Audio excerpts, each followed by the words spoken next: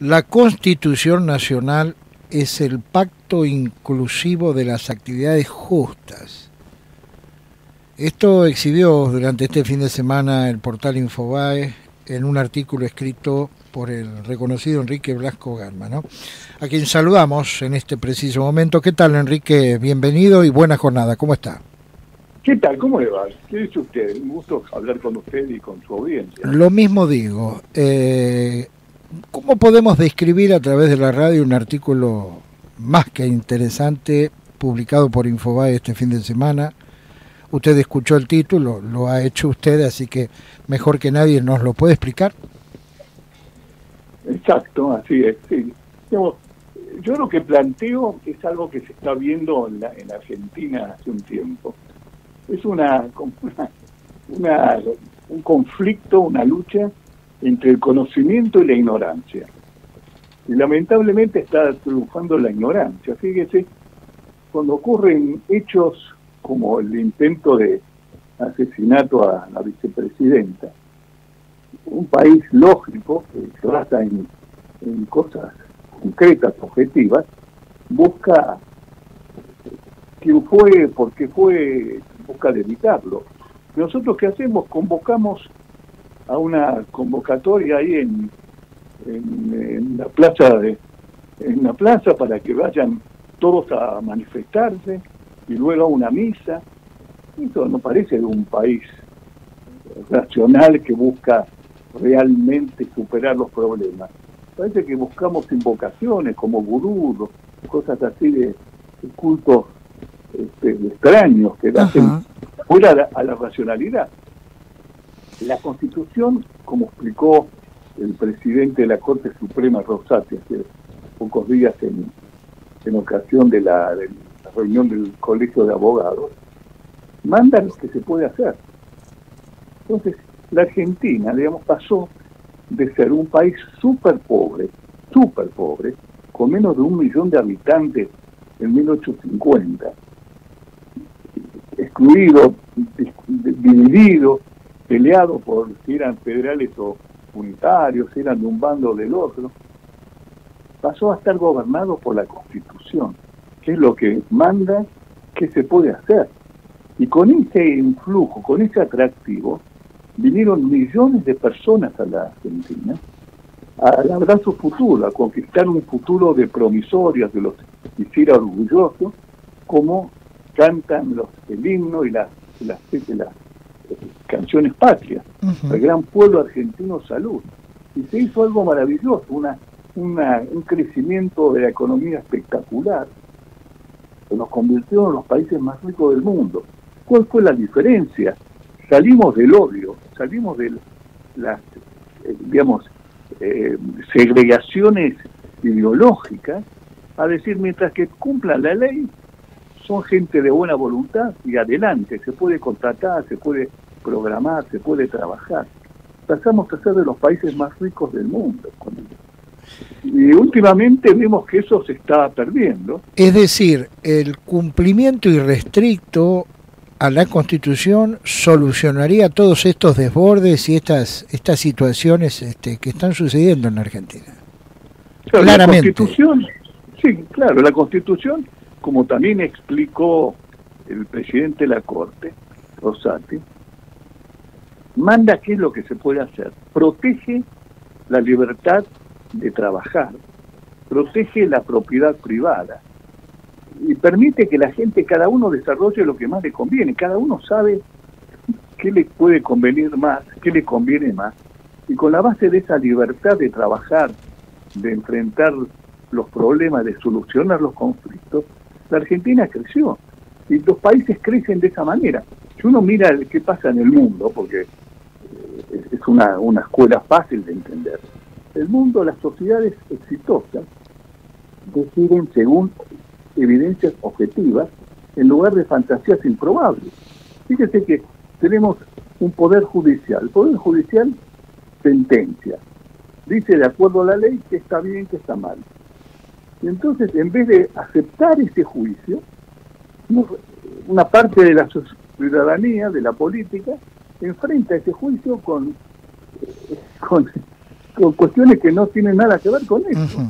Bien. Que ponen en duda nuestras leyes. Fíjese, de un país que pone en duda sus propias leyes, es un país desorganizado. Ahora, eso no eh, funciona. Y la justicia, perdóneme, si la justicia estuviese politizada, las leyes cambiarían con cada gobierno, lo cual sería absurdo, digamos, no tendría ninguna seguridad de nada. Es como si usted construye una casa con unos planos. Cuando cambia el gobierno le cambian las planas y tiene que derrumbar el edificio. Seguro. Es, algo absurdo eso. dos preguntas más. Es algo tan absurdo que es de, una cosa, una sociedad de lo más primitiva que haga eso. No podemos avanzar de esa manera.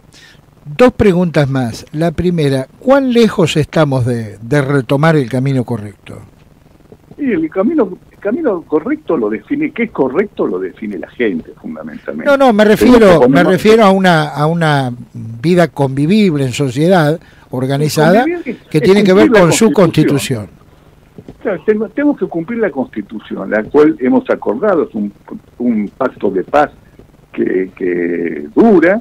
Podemos ponernos de acuerdo con eso, ya está hecho, no hace falta hacerlo, ya está hecho, y tratar de cumplirla. Digamos, los funcionarios todos juran cumplir la Constitución. Y lo primero que hacen es olvidarse de la Constitución y hacer lo mm. que les parece. Pero digo, ¿estamos muy lejos de retomar ese camino? Y ese camino tenemos que retomarlo de a poco, este, con buena voluntad, y se puede hacer, y Argentina va a hacer, cuando lo haga, va a ser un país promisorio que la gente en vez de escaparse del país, va a venir a trabajar acá, porque va a ser un país que ofrece muchas oportunidades. Lo hemos hecho, lo hemos hecho y lo podemos volver a hacer. Fíjense que la Argentina tuvo, desde la Constitución 1853, 1860 en adelante, tuvo años maravillosos que la gente se desesperaba para venir a la Argentina. Todos nuestros antecesores, nuestros antepasados, una buena parte por lo menos vino de, de, otros países y labraron en la América hicieron su fortuna acá. Eso es posible, es una oportunidad magnífica que no tendremos, no podemos desperdiciarla. Bien. Es simplemente aplicar conocimiento, no es una cosa de, de cultos estrambóticos. Apliquemos los conocimientos, apliquemos las cosas objetivas. El odio, por ejemplo, que hablan del odio. El odio es buscar al otro, es mi enemigo, entonces con él no trato. ¿Qué sociedad se puede hacer? Fíjese si en un equipo de fútbol los jugadores empiezan a odiarse uno con el otro, entonces no le pasan la pelota, no juegan con ellos, no están en el equipo para estar en el equipo tenemos que cumplir la misma ley.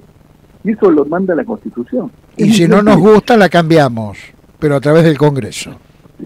A través del Congreso, pero la ley, también la ley que cambia mucho, no es buena ley. La ley tiene que ser durable para que la gente, tiene que ser estable, tiene que ser llegada con conocimiento, no con simplemente con, con voluntad absurda, como dicen algunos, eh, eh, la necesidad hacia el derecho. No es así.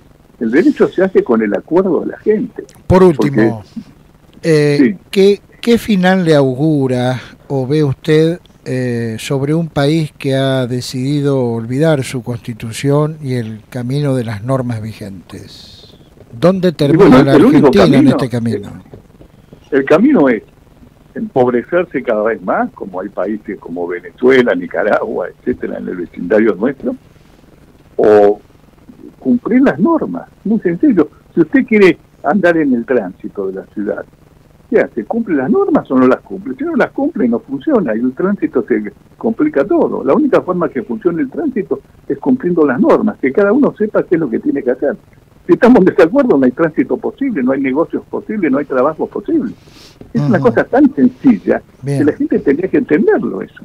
Lo que pasa es que la gente desconfía que se cumpla la ley. Bueno, hay que tener confianza en los agentes de la ley que la van a hacer cumplir. Bien, una cortita nada más y desde ya le agradezco su gentileza en atendernos como siempre. No, es un eh, gran gusto estar con ustedes. ¿qué, qué, qué le falta a la política argentina para que esto vuelva a su cauce?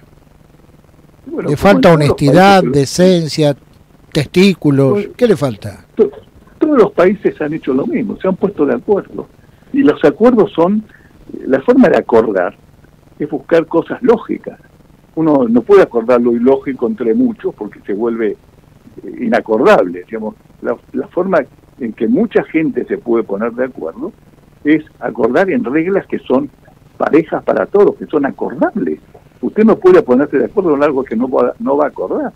Si va a acordar, su palabra vale, los contratos valen, las actividades valen. Si usted no puede acordar, la palabra no vale. Fíjese, una sociedad que la palabra no vale. Usted no sabe qué significa la palabra. ¿Cómo se puede poner de acuerdo con alguien si las palabras no valen?